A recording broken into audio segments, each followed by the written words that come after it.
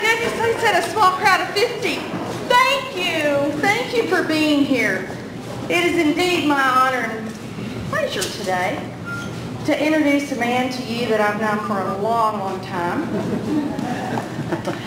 I've never introduced him as I'm getting ready to introduce you to him right now, but I will tell you, if you heard this earlier, I met Rick Perry when I was about six years old.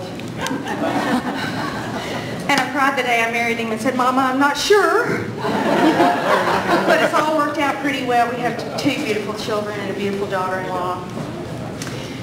This is a man that stands by his words and his commitments, and there's not a harder man that, there's not a man that will work harder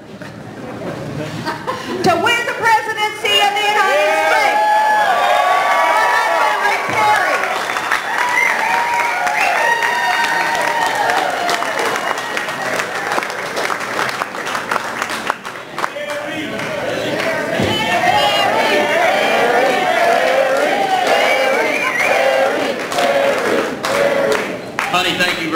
let me tell you what, it is an exciting day and, and uh, to be here in the Palmetto State with everybody and uh, our, our, wonderful South Carolina friends. And, you know, as I look across and, and, I get the feel, it just, it just feels right and it feels good. Matter of fact, it feels like I'm home. So, uh, anyway, and let me tell you, we're going to be coming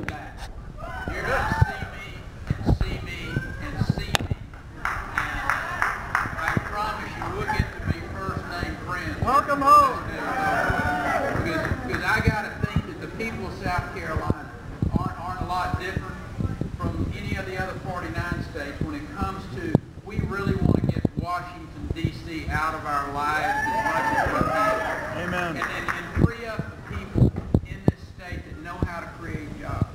You know, in my remarks in there earlier, I talked about that that's, that's truly what America's always been about. We're work. We roll up our sleeves and we go to work. But we got a, we got a federal government